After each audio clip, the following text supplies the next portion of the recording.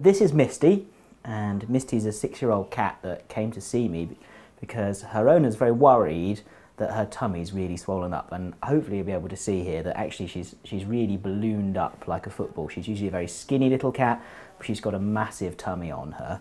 Um, and I've put a little needle into that because it's fluid that's in there and what we're dealing with is pus. Um, looks like pus in the syringe and it looks like pus down the, the microscope so we think we've got an infection somewhere. Now what we're hoping is that the owner reports that the pus usually comes out of her after a season so we're hoping that she's got pus in her uterus and this is just the craziest pyometra, you know, infection of the uterus that we've ever seen. But until we get in there and have a look, I can't guarantee that it's not free pus that's floating around in there or pus that's somewhere else. Um, but that said, if it was free pus or pus somewhere she's actually very healthy otherwise. She's eating, she's well in herself. Um, you know, the only issue she's got is this big swollen tummy. So it's going to be really interesting to go in there and see, see what's causing it and hopefully it'll be something that, that we can fix. Misty's all asleep now. We've clipped the area that we're interested in and she's been scrubbed up, ready to go. I've scrubbed myself. I just need to dry my hands and get into my, my gown and gloves and we can make a start. Um, she's out here on the table. You can probably see that we've got her on an angle um, because we don't want all that pressure in her tummy to restrict her ability to breathe. Um, and she's also on quite a high fluid rate now because that pressure when she's on her back actually restricts the, the blood return to the heart from the body. So we need to keep her blood pressure up as high as possible. So uh, that's what's going on and we'll make a start in a few minutes time. Okay, gonna make a start. Make a little incision over the skin. Gonna stroke down to the muscle there.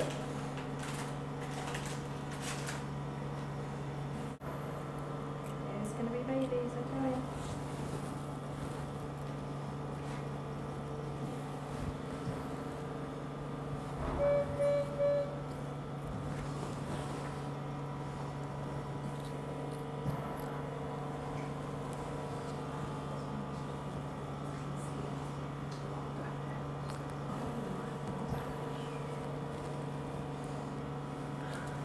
Okay, so it looks like it is a, an infection of the uterus.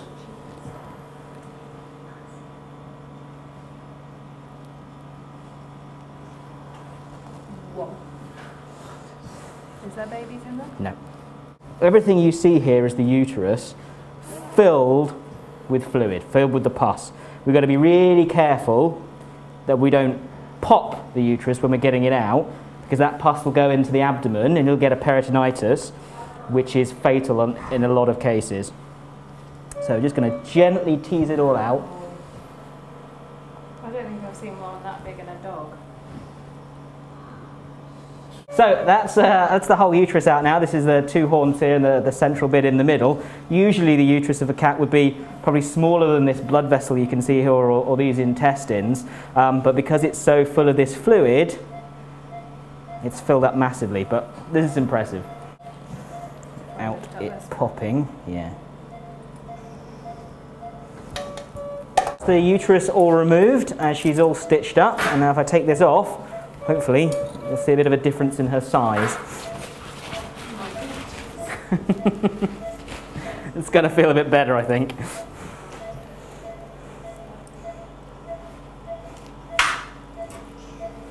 So we've emptied out our uterus now, so this is what's left behind, and this is all the fluid that came out from inside the uterus, if you can see.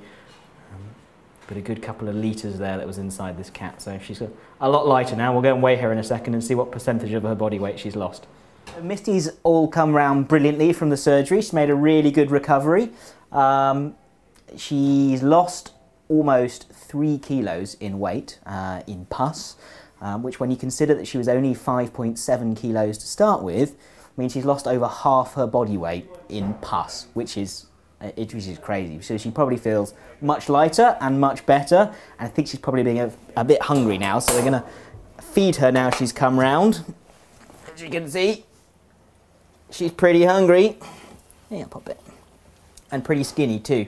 So she'll go home today um, with some pain relief and, and some further antibiotics, and we'll see her back in a couple of days. But she should, now that's all out, make uh, a complete recovery um, and go on to live a, a normal life, which is great. Um, so the owner and, and me are, are really happy with how she's done.